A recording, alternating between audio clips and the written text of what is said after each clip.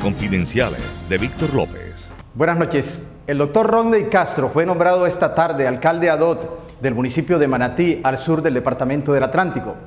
También esta tarde, el Consejo de Seguimiento Electoral determinó nombrar para esa misma población registrador ADOT. Se trata de un funcionario que vendrá esta noche directamente de la capital de la República.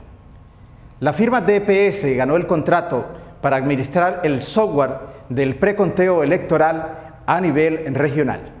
Y un último dato, la magistrada auxiliar Dayana Caballero del Consejo Nacional Electoral fue nombrada oficialmente para continuar la investigación en contra de la firma Data Analysis por la publicación aparentemente irregular de varios sondeos de opinión, tanto para alcaldía como para gobernación del Departamento del Atlántico.